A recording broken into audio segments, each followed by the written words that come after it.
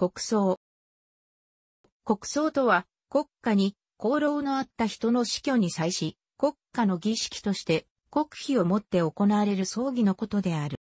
戦前の日本では、明治以降、国葬をすべき必要が生じた場合に応じて、特に国葬を行府とする直令が個別に発せられていたが、1926年、大正15年10月21日に、国葬令、大正15年直令第324号が交付され、一般的に整備された。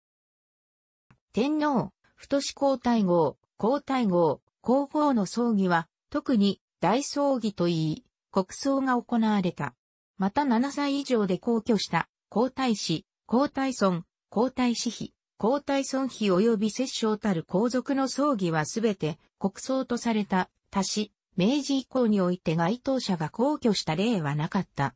天皇、皇族以外の国家に功績ある臣下が死去した場合にも、天皇の特使により国葬が行われた。皇族においても特に国家に功労があった者が皇居した場合には、通常の皇族の葬儀ではなく特別に進化同様の国葬が行われた例がある、終戦前最後の国葬となった寛位宮琴人親王など、戦前の国葬の対象者は、皇族、王皇族、旧薩長藩主、首相、大乗大臣、左右大臣の経験者、元帥のどれかに該当し、山本56以外は、皇族、王皇族であるか、爵位を有していた。桂太郎は、首相として、日英同盟、日露戦争、韓国併合などの業績があるが、死去当時皇族と、旧薩長藩主以外で国葬になった者が三条、耳、明治24年直令第14号、岩倉智美、伊白文、明治42年直令第314号である。また、大隈重信は、在野時代が長く死去当時も、政府の役職についていなかったこともあり、国葬にならず、国民葬となった。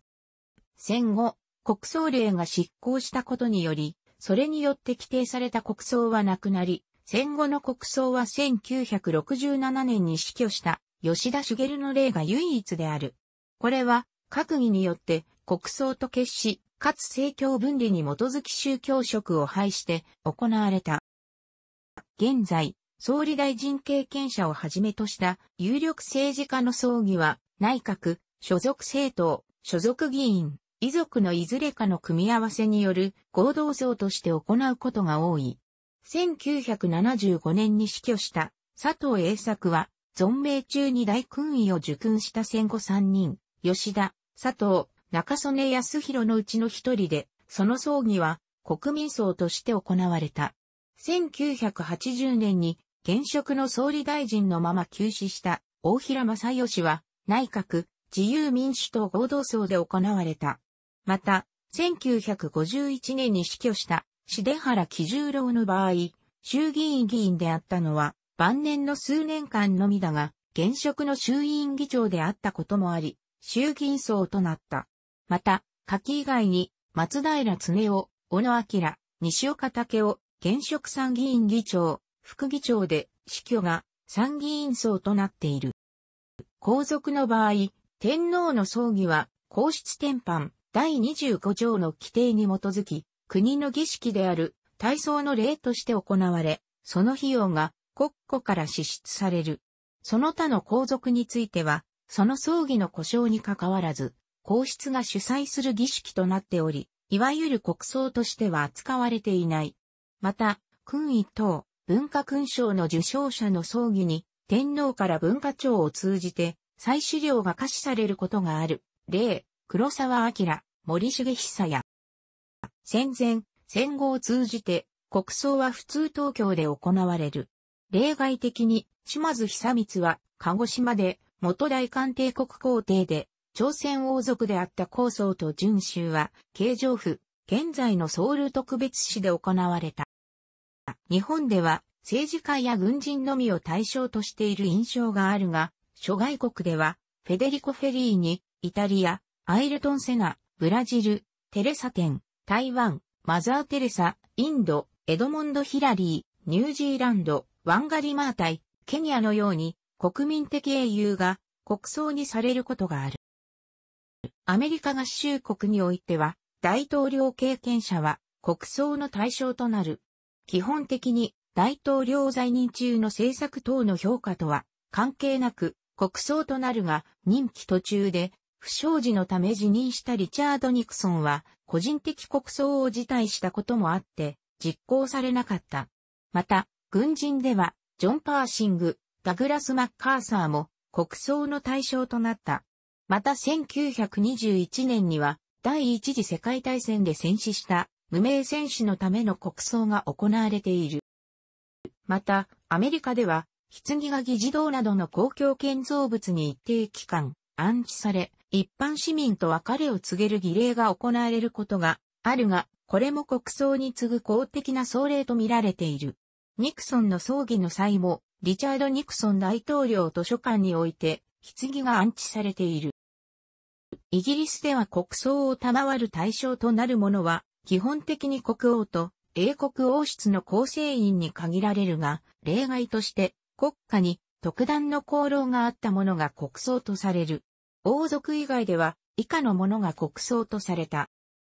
ちなみに、首相経験者でグラッドストーンのライバルとして有名だったベンジャミン・ディズレーリや看護教育学者となったフローレンス・ナイチンゲールも国葬を脱進されたが、ディズレーリは本人の意思、ナイチンゲールは遺族の要望で辞退されている。また、メアリー王妃やエリザベス王太后、ダイアナ皇太子妃など、王室の配偶者は国民層に王位を退いたウィンザー公は王室層に付された。フランスでは国葬を賜る対象は第4共和制からは首相、第5共和制からは大統領。並びにフランス国民教育省の式典令に従い、国家に特段の功労があったものを対象とする。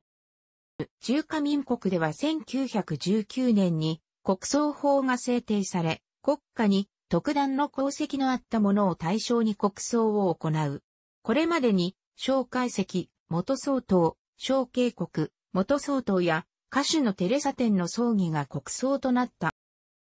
中華人民共和国では国葬に関する法令はない。国家に特段の功績にあった者が死亡した時には、中華人民共和国国旗法に従い、反旗を掲げて国家による弔意を表す、反旗中華人民共和国を参照。国家主席、国務院総理、全国人民代表大会常務委員長、国家中央軍事委員会主席経験者が主な対象である。大韓民国では国葬、国民葬法の中で国家が葬儀の費用を全額負担する国葬と一部を負担する国民葬が規定されている。韓国でこれまで国葬となったのは、牧世紀、金大中、金四サム、いずれも元大統領がおり、国民葬となったのは、蔡慶下、ロブゲンの大統領経験者並びに、陸英州、牧世紀夫人などがいる。朝鮮民主主義人民共和国、北朝鮮では、国葬を賜る対象は朝鮮労働党、政治局員以上、または内閣、近日清存命時代は、政務員部長、朝鮮人民軍自卒以上の経験者が基本で、党中央委員、及び委員候補クラスの実務者でも、最高指導者が必要と認めた場合は、国葬で送られる。必ずしも、近日清、金正日ら白頭山血統の最高指導者だけが国葬を受けるわけではない。国葬を行う場合は、被葬者の死去の発表と同時に、朝鮮労働党中央委員及び最高人民会議大議員のうち、政府役職経験者による国家葬儀委員会が編成され、そのメンバーは朝鮮中央通信を通じ、朝鮮中央放送、朝鮮中央テレビの報道、及び国外向けの朝鮮の声放送で発表される。発表される葬儀委員会名簿は、最高指導者を委員長とし、その時の北朝鮮指導部の序列を如実に示すと言われ、クレムリのロジー同様、日本のラジオプレスなど、北朝鮮ウォッチャーにとは、絶対に欠かすことのできない資料となる。